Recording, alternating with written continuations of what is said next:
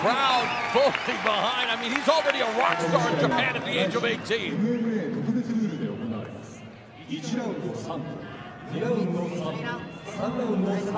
One opening round is 10 minutes. If a second round is required, it's five minutes. And in this fight, elbows to the head are not permitted.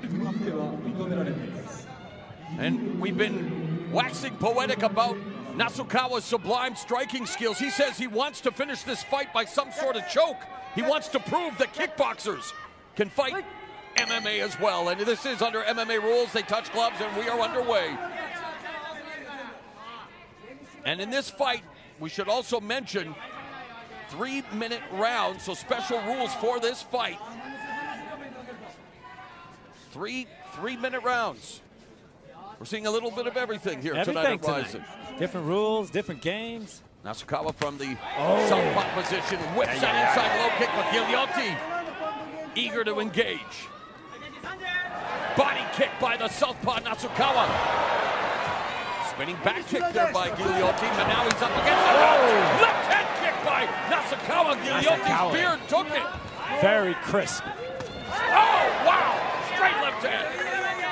He stepped off going backwards and countered with that left hand. You know, Chuck Liddell made a, a, a career out of showcasing knockout power moving backwards, the UFC Hall of Famer. Not many can do it. Oh, wow. Line out there, the left hand kick, Ghigliotti. Down goes Ghigliotti. Ground and pound. Mamma mia. Nasukawa drops Ghigliotti. And Ghigliotti goes down faster than Mama gnocchi.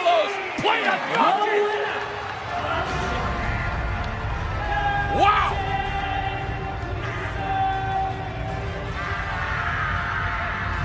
Surgical annihilation.